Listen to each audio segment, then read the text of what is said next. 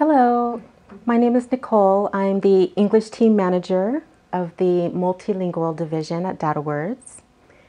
In the multilingual division, we work with um, about 15 different languages into our native languages.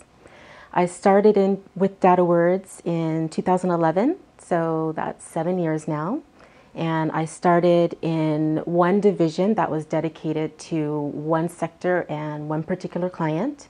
And then, I moved into the multilingual division to work with many different types of clients. DataWords is a lot of fun. It's a very multicultural, multilingual environment. Um, French and English are our international official languages of the company.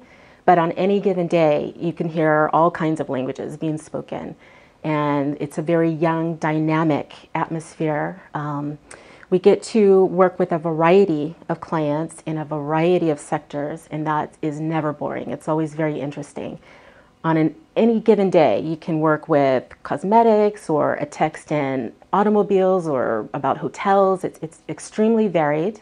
Um, not only are the clients varied, but the types of projects that we do.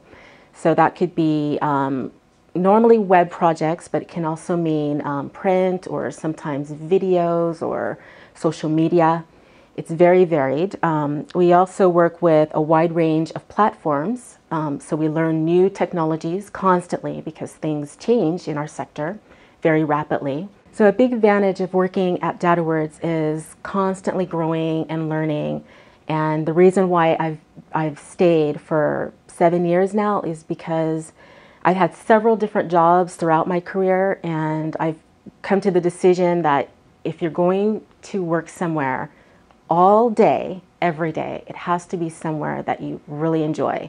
You have to really love your job, and that's why DataWords is so special.